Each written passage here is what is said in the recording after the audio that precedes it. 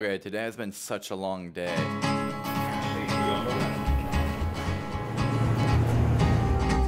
To the town of Agua Fria rode a stranger one fine day.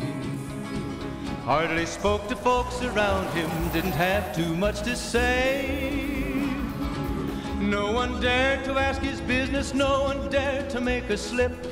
The stranger there among them had. This morning, after waking up and flying down to Dallas, Evan and I drove about four and a half, five hours from Dallas, Fort Worth, Texas, out to Lubbock, Texas for the event Lace Up 806. Really neat. It was on an airplane hangar, but Texas heat in the middle of the summer. It was like 103 degrees today, so it was absolutely wild.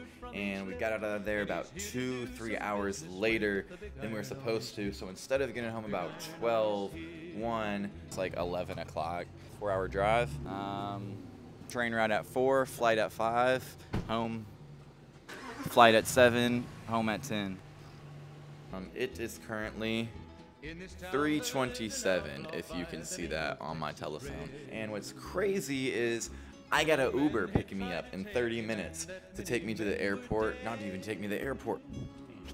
Damn, damn, damn, damn, damn, damn, damn. This Uber is about to take me to the train station, then I gotta ride a 40 minute train to the airport, then I gotta go through security and wait an hour or two for boarding, and then fly back to Louisville. Okay, so for this right here, I'm not even about to rig this light up, man. I am exhausted after getting back. But this afternoon, I got a photo shoot with Dee Dee Cox for one of her romance books. On the cover is going to be Jeff and Ethan Almighty the dog. So here's a little bit of footage of that. And overall, man, I just hope y'all are staying well, staying blessed, taking care of yourselves. I'm exhausted, so I'm out of here. Peace and love, man.